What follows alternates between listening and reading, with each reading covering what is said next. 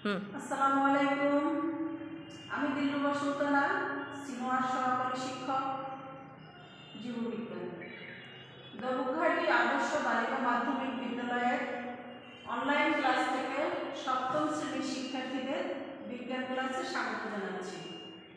প্রিয় শিক্ষার্থীবৃন্দ, আশা রাখছি তোমরা ভালো আছো, সুস্থ আছো এবং নিরাপদে আছো আজ আমি তোমাদের বিজ্ঞানের সপ্তম অধ্যায় শক্তির ব্যবহার গত ক্লাসে আমি নবায়নযোগ্য শক্তি নিয়ে কথা বলছি আজকে অনবায়নযোগ্য শক্তি কি এবং এর সুবিধা অসুবিধা সম্পর্কে পাঠদান করার চেষ্টা করছি।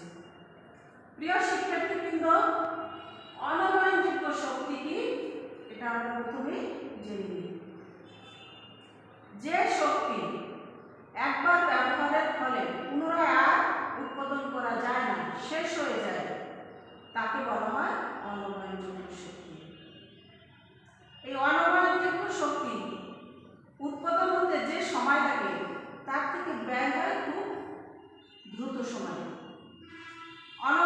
শক্তি কি কি? এখন আমরা সেটা জানি।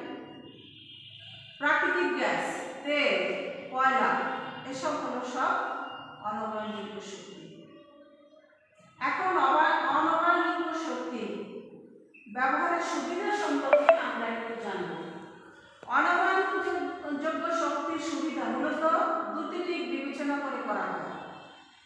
দাম এবং প্রাচুর্য আমরা জানি যেহেতু যন্ত্রপাতি তারপরে যানবাহন এই সবগুলো অনবায়নযোগ্য শক্তির সাহায্যে চলে থাকে তার মানে তেল পেট্রোল প্রাকৃতিক গ্যাস। এগুলোর সাহায্যে অতি দ্রুত সময়ে এবং কম খরচে এই শক্তি উৎপাদন করা সম্ভব নয় যেটা নবায়নযোগ্য শক্তির সাহায্যে সম্ভব হয় না সৌরশক্তির সাহায্যে এটা সম্ভব হয় না। কারণ এগুলো উৎপাদন সময় সাপেক্ষ বিষয় এরপরে হলো এর সীমাবদ্ধতা বা অনবায়নযোগ্য শক্তির অসুবিধাগুলো কি কি যেহেতু এটা দ্রুত ফুরিয়ে যায় অনবায়নযোগ্য শক্তি নিঃশেষ হয়ে যায়, এটা একটা সমস্যা। খনি খনি থেকে যে পরিমাণ পাওয়া যায়, তা নিঃশেষ হয়ে যায়, ব্যবহারের ফলে দ্রুত। তারপরে পরিবেশকে উচ্চ মাত্রায় দূষিত করে। আমরা জানি যখন পেট্রোল চালিত যানবাহনগুলো চলে, তখন কালো ধোয়া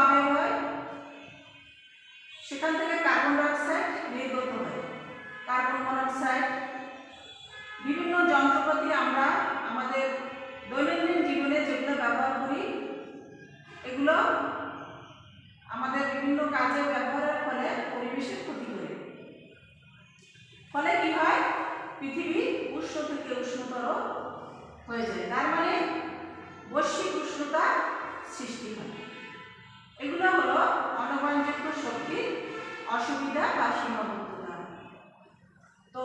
শক্তির ব্যবহার প্রতিনিয়ত বেড়েই চলছে। ক্রমবর্ধমান জনসংখ্যা বৃদ্ধির ফলে ফলে মানুষের আরাম আয়েসের জন্য বহুতল ভবন, বিভিন্ন প্রয়োজনীয় জিনিস যেমন তার আরাম আয়েসের জন্য রেফ্রিজারেটর, এসি, অনেক কিছু তৈরি হয় যার ফলে বিদ্যুৎ উৎপাদন মানে বেশি লাগতেছে হচ্ছে তো আমাদের শক্তির ব্যবহার কমিয়ে আনতে হবে, কারণ আমরা জানি এই পৃথিবীতে শক্তির পরিমাণ নির্দিষ্ট। তো শিক্ষার্থীবৃন্দ, আজ আমরা এ পর্যন্তই। আগামী ক্লাসে আবার তোমাদের সাথে দেখা হবে। ভালো থেকো, সুস্থ থেকো।